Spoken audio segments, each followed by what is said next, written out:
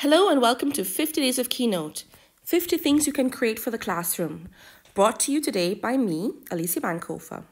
Today is already day four, so get ready to find out how you can use Keynote to create mind maps and concept maps. So, what are these exactly? I'm sure you've seen them before. They're graphical depictions of ideas and concepts. They look like nodes and arrows. Mind maps have like a radial structure, so they start in the middle and they branch out. And concept maps are more free. And they both represent connections, hierarchies, or dependencies. So, why use Keynote? There are lots of reasons. You can include um, multimedia elements. You can you have full control over the design. You can use design tools. You can draw, or you can use the shapes yeah, this is really personal and individualized. And there's no login necessary, so that's an added advantage. You don't have to use like an online platform, it's right there on the iPad. The design tools at your disposal are just the images, video, drawing tools, colors, and the shapes. So how do you actually do a mind map? It's really easy. You have the topic in the middle and you start, you branch out, just showing the how the the what aspects the topic has. Here I animated my mind map for you so you can see the possibilities. So what can you do? You can either use on the left, you can use the shapes with the arrows and you can even format the arrows. It's really cool. Or on the right, you can see you can have the nodes and the arrows as drawings and just, just draw freehand. So what are some lesson examples that you can do?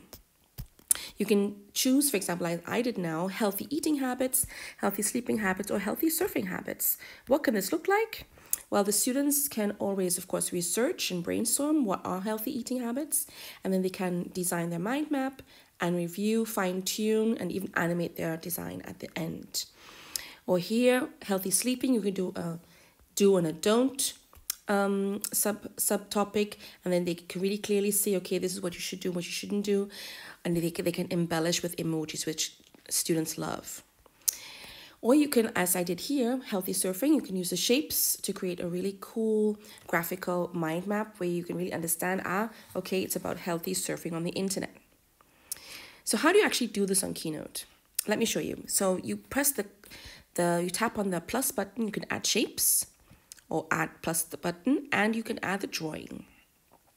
When you do drawings, you can use the selection tool to resize or rearrange or move things around. You can even change the color. When you're using the shapes, you can format the box however you want. You can have a border, you can have a style, the lines can have a different width, you can have a shadow. And as I said, you can format the arrows the way you want. You can even decide that they can have arrowheads or not. So you can see here, I have my, my blank um, mind map, which I'm going to now embellish with a video. Welcome to my mind map. See if you can guess what the topic of this mind map is.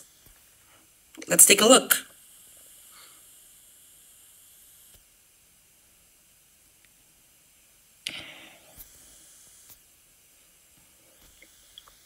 I don't know. Is it about healthy surfing habits? You're right. So you can see there are loads of applications for the classroom. I'm sure you can think of many more than I did. And I really wish you lots of, lots of um, joy with this way how to create mind maps using Keynote. All the videos on 50 Days of Keynote